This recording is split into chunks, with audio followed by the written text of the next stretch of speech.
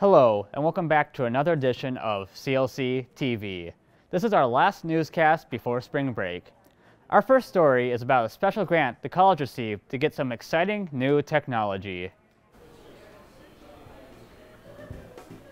CLC recently got a big tech upgrade, including virtual reality and 360 cameras. Initially, um, we were part of a grant called the Going Places Grant um, that other Minnesota State Community Technical Colleges um, were a part of. This grant allowed CLC to purchase two sets of 30 Google Expeditions, multiple 360 cameras, and an Oculus Rift headset underwater swimming with sharks to the International Space Station, all the way to like a molecular level of looking at cells in the bloodstream and stuff like that. So there's a wide variety of applications. Students found a way to beat the cold last week. Close to 30 people braved the elements in pursuit of Olympic gold on the treacherous snow tube run. On Monday, the 24th, Student Life hosted a free night of snow tubing at Mount Ski Gull as part of Snow Days at CLC. Students from both Brainerd and Staples campus came to the event. It was a perfect way to enjoy the outdoors on a brisk winter night. If you're not in the mood for snow, there were plenty of indoor activities on both campuses too. Here's our vlogger, John Grogan, with more.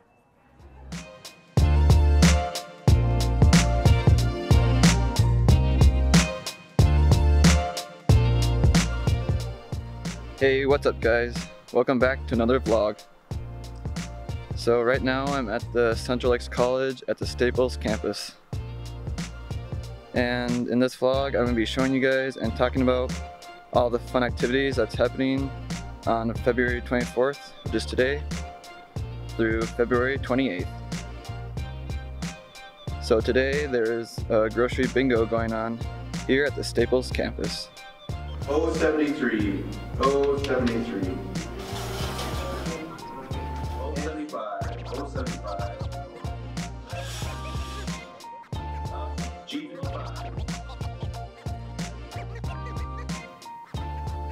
On Tuesday, February 25th, there was a dodgeball event at the Staples Community Center, but that unfortunately was canceled. On Wednesday, February 26th, there is a pool tournament at the Central Lakes College Staples campus, and the winners received a $40 gift card to Buffalo Wild Wings.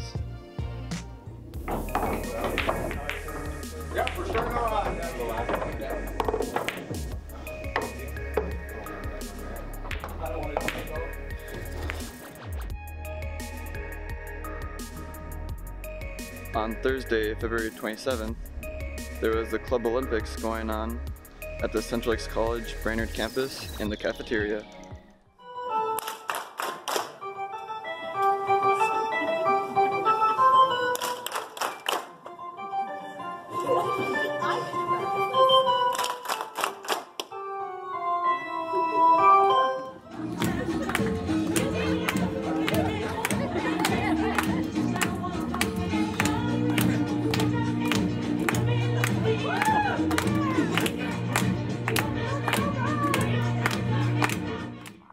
Michael Surflane was the one who found the Staples campus medallion.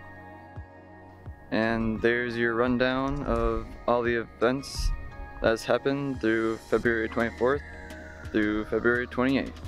With snow days coming to an end, one lucky student has found the medallion on Brainerd campus. This student happens to be one of our own videographers, Richard Hartung.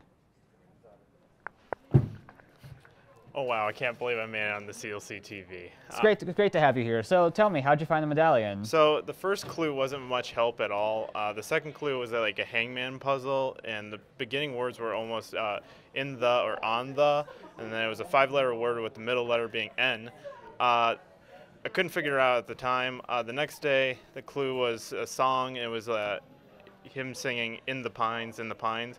So it was obviously a tree in the campus, so I went around and looked at every tree, high, low, uh, taped to the tree on the ground in the snow and the branches. It, eventually, I found it with a foot of snow in my shoes. Uh, but yeah, it was a really fun time, and it was a cool experience. Well, good job. Congratulations. Thank you. In sports, it was the Region 13 semifinals MCAC state tournament held in Coon Rapids and Thief River Falls, Minnesota. The bad news is that our playoffs just came to a finish, but the good news is that it was a great season.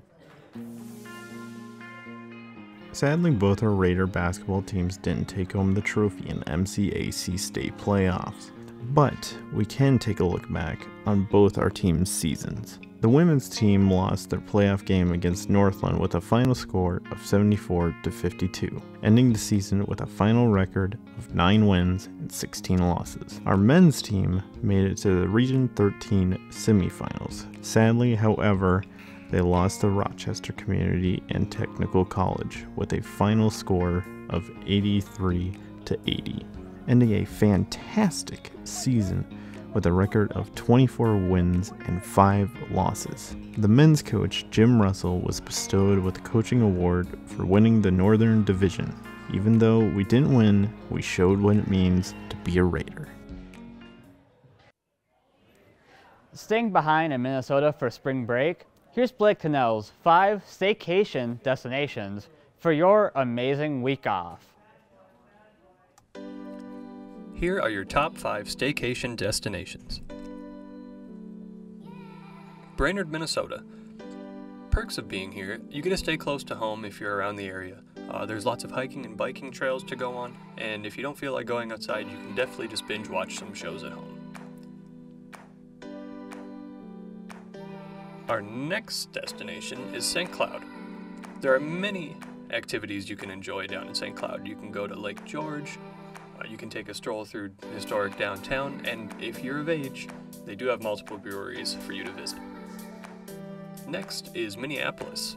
You can visit several museums like the Art Museum or the Russian Museum of Art.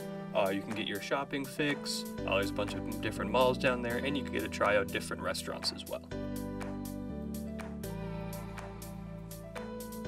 Next on our list is the Mall of America, where you can really get your shopping fix done. Uh, they have attractions like Nickelodeon Universe, uh, there's four stories to explore with a movie theater, they have arcades, and you can definitely go to the Sea Life Adventure as well, which is a definitely great time. And last but not least, we have Minnehaha Falls. Down near the cities, you can enjoy plentiful trails uh, all across the waterfalls, admire several waterfalls, and lose yourself in nature.